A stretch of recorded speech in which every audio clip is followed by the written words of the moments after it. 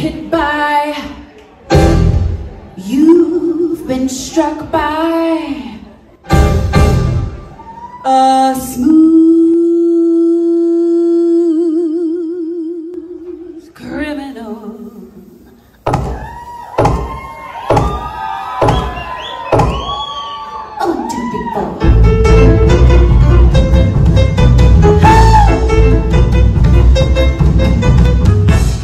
to the window. It was the sound of a crescendo. He came into her apartment. He left the bloodstains on the carpet. She ran underneath the table. He could see she was unable.